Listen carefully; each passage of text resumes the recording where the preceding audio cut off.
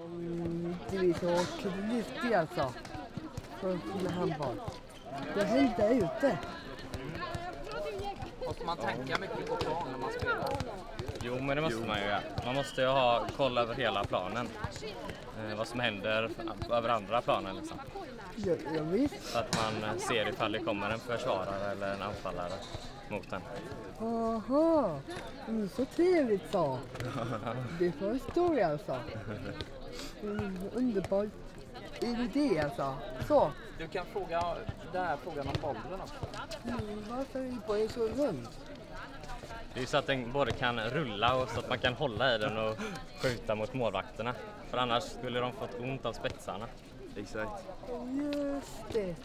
Hur långt är sträcket? 20 meter.